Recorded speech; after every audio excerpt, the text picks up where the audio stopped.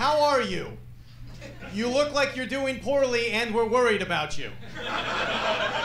We worried you're drinking because your head looks like it's being preserved in a jar by a mad scientist.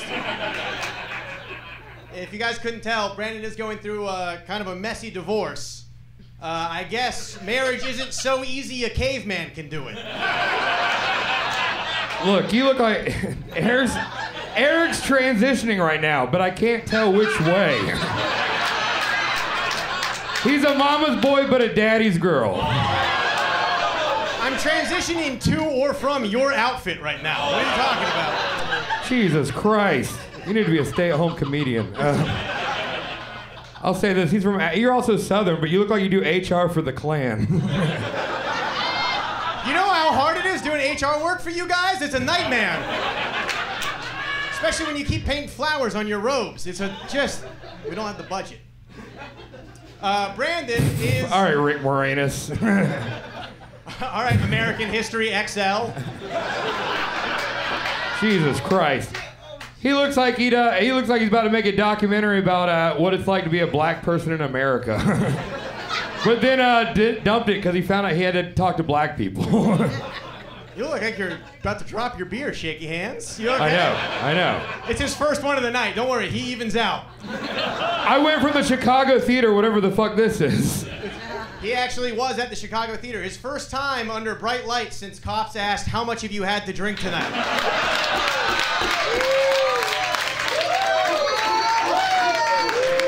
One time in band camp, Eric stuck a flute in his pussy.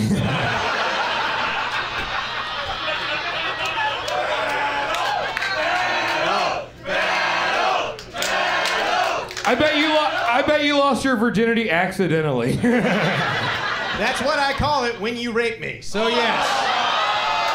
At least someone will fuck you. Eric's girlfriend, uh, Eric, Eric gives his girlfriend rides to her boyfriend's house. and then he makes her a nice meal from his cookbook. I'd rather be the guy driving than the guy filming, you fucking weirdo. Your favorite sexual position is holding your girlfriend's purse while she blows a man.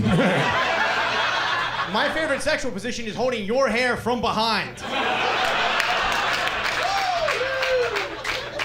Those jeans didn't come like that.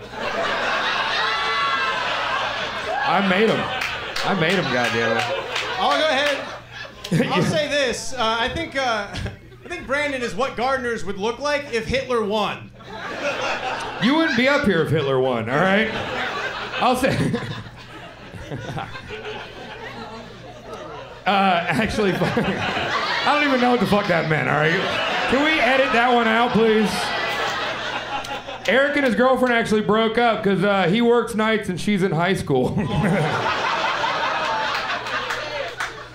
Hey guys, be gentle. Divorce is very tough, and Brandon's really taking it on what I think was once a chin. Look, I might be getting divorced, but your girlfriend can't even legally get married yet.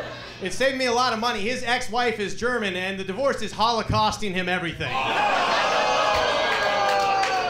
Right now, he's got an open micer trying to divide up 220 bucks in a pack of Millers.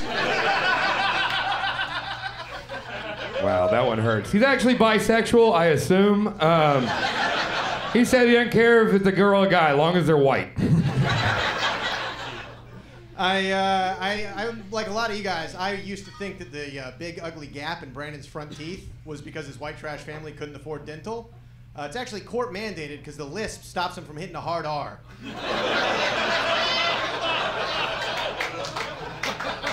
My teeth touch more than you and your girlfriend do.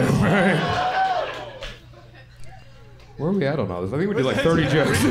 Was I supposed to be counting that? Oh, here we go. I got a good one. Uh, so. Yeah. So, battle. All right, there we go. Uh, like I said, Brandon's ex-wife is German, and when they split, he actually had to leave the uh, place that they lived in and moved into a shitty flop house with a bunch of failed comedians. Uh, yeah, who can imagine a German forcing a man from his home to bunk with Jews, communists, and retards? Eric's got the kind of white privilege that black people don't get angry at. What does that mean? I don't know. I thought I had COVID earlier. I don't. All right. I'm doing all right. Hey, shortly after Brandon moved into his shitty new place, a big chunk of it caught on fire and burned down.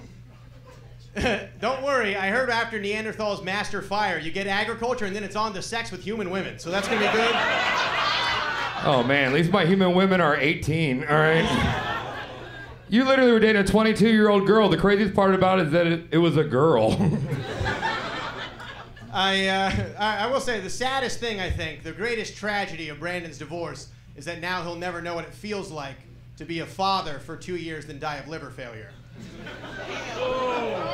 Well, at least he ended on a strong one. All right. Last Well- one? You got one? We got one more, yeah. You? Yeah. Do you have any more? I remember that time you called uh, the police on a rap song. We made a deal that if one of us bombed at the end, the other would bomb too. Yeah, yeah. So it would be fair. Oh, give it up for them, everybody. Holy shit. Oh my god. Wow. That was. No, seriously, keep it going for that. What a fucking awesome battle. God damn. Man. The last three jokes don't count. Mo good. I want I want your thoughts for, for what the fuck just happened over here. This was a good ass battle right here.